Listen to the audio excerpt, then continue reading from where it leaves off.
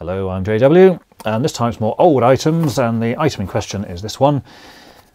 It's a Smith's Autoset, which is basically a timer, so you can turn various things on and off when you're not around. So this is a Smith's Autoset, 24 hour time switch, and it has this dreadful uh, slogan here, and then on the side here there's this uh, picture of this typical uh, detached property, and apparently you can turn lights and things on when you're not around to fool burglars. That never worked.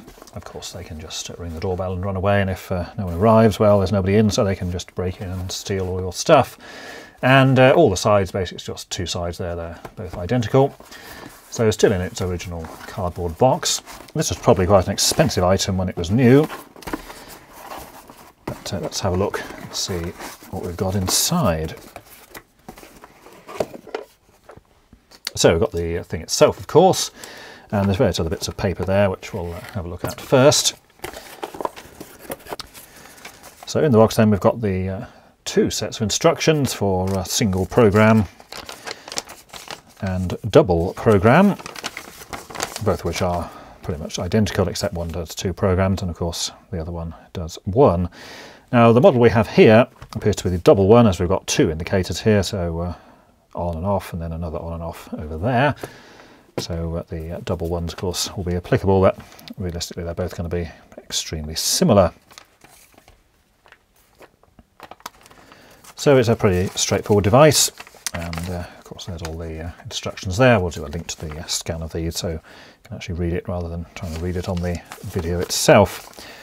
And uh, there's no date on this particular product, which is fairly typical for things made in the past. They didn't seem to like to tell you. And you've got your guarantee card there, and you can return it to that particular location. If you wish to send a postal order for 25 pence, to cover part of the cost of handling, packing and return postage, but you do have to pay to send it to them as well. Got these two little pieces here, which are fluorescent orange, and it's basically a reminder label so that uh, if the power's failed then you'll have to reset the time yourself because of course this doesn't have any kind of battery backup or anything. Power goes off then the timer doesn't move. And there's two of those. And then you've also got this little card here, which is the usual standard warning about the colours of the wires in the mains lead, and it must be earthed, and so on. So let's have a look at the uh, item itself. So it's a fairly chunky piece of equipment, a single uh, mains outlet on the front there, and then you've got this short flex here, it's probably sort of 12 inches long or so, with a plug on the end. And of course the idea was you plug this into the wall outlet, and then you can plug your appliance in here, and set the time on the appropriate thing here and it will switch on and off at the time you've chosen. On the back we've got a mounting bracket so you can obviously remove this, screw that on the wall and then hook the timer onto it. It appears that this has never been used because that piece of tape certainly looks to be uh, pretty much original so presumably someone just bought this and stuck it in a box or maybe it came from a shop that uh, never actually sold it. And so this is a considerably uh, chunky device considering the ones you get now are literally the smallest size possible. It's the outlet and a little tiny timer dial on the top. And then of course this wasn't made in China and it was made to a decent specification. Now here's the uh, specification plate and uh, so it's a bit difficult to see because it's uh, basically engraved but as you can see it says made in Great Britain across the centre and then we've got the operating voltages and uh, at the top there Smiths Industries Limited, the clock and watch division and that says so what, Cricklewood, London, England.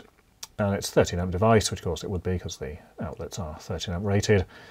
200 to 250 volts at 50 cycles per second, or 50 hertz as it would be called now. And there's a few other sort of serial numbers stamped rather carelessly over the top. Now in terms of setting the uh, thing itself, then this is just a protective cover. Your current time is actually at the top here. There's that little mark uh, there, so that would basically be at 7.30 in the morning. And you've got day and night, obviously it's a 24 hour dial. And then for the times you want it to switch on and off, it's just these little markers which are permanently attached. They just basically bend downwards on a, it's just plastic, so you can uh, move those to whatever times you would like.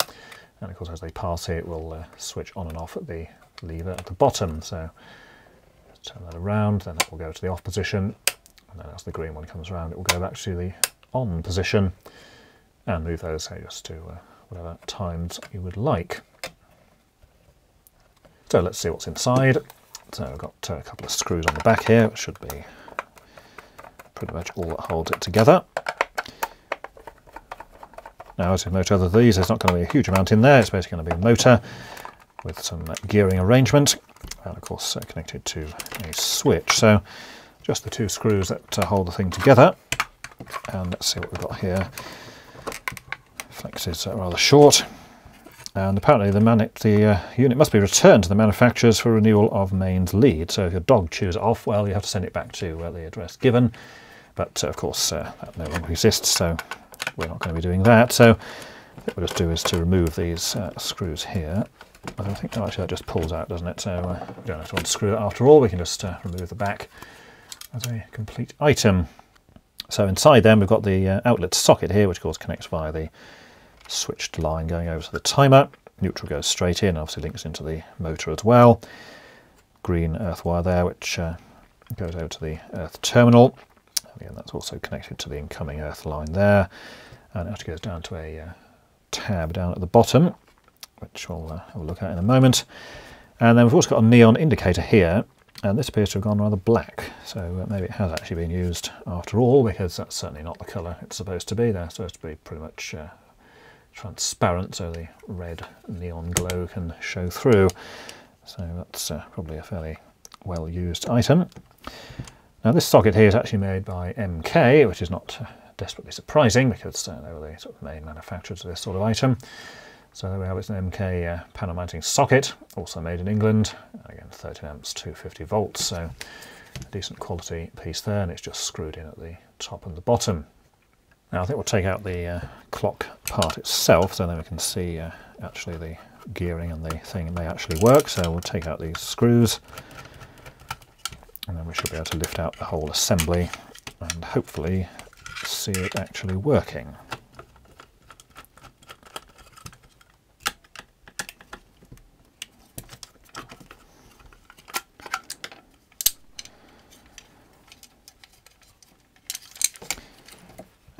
remove the uh, MK socket as well, just so the two screws here on the front.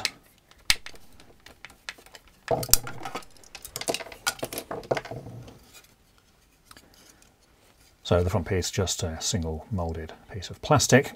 There does appear to be a bit of uh, dirt in there, so it may well have been used. And uh, so it's just got the holes for the socket, the uh, clock there, and notice it's actually got these uh, threaded inserts here for the screws that go in.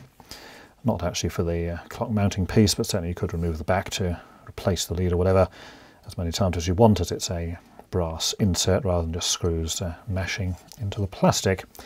And just a little red uh, piece there for the neon light to shine through. Now it appears that the neon here is actually wired across the incoming supply, so this would be on all the time and not actually uh, switched via the piece here because on the side here it's basically onto the brown wire which goes to the uh, plug that comes in and it's only this red one from this side which is actually switched output. Uh, the MK socket is totally uh, standard from that sort of era so you've got your uh, three contacts there. The plate obviously forms the covering over the front and then it's just a question of when you insert the pin there it will move that down to reveal the other two socket holes at the bottom. So I think we'll just plug this in and uh, hopefully we can see if this neon still works, though given its uh, extreme blackness that seems unlikely. And we should also be able to see some or more of the uh, gears here moving. Now the motor for this is actually on the bottom, but uh, we'll have a look on this angle to start with and then see what else we can do after that. Okay, we can see the motor uh, actually revolving down there at the bottom. It's actually a uh, rotation like that as it's sort of mounted. The spindle coming upwards and the neon is actually on there but it's somewhat uh, darkened because of that uh, extreme blackness on the outside but uh, see the LED is actually glowing away in there and in terms of the switching here I mean it's it doesn't actually make a great deal of difference uh, which position it's in it seems the neon remains on in either of the two positions. So we can see down in the bottom there the motor rotating and the short spindle that comes up there. And of course we've got other gearing in there which eventually comes through to this white piece here. And then that comes through to the front where you've got your essentially one revolution for every 24 hours on the front. So here's a view from the side. This is basically at the bottom here with the motor, and uh, see it just goes through there with that rotating plate there. And you've got this slower moving piece here which comes through to the front, and then eventually via the gearing in the front there it will come through to this final piece on the front there. So unfortunately can't see this moving because of course uh, one per 24 hours is incredibly slow, but uh, of course that would uh, normally just rotate in this direction. and of course switch on and off via the plastic tabs here as they come round to the switch point here at the top.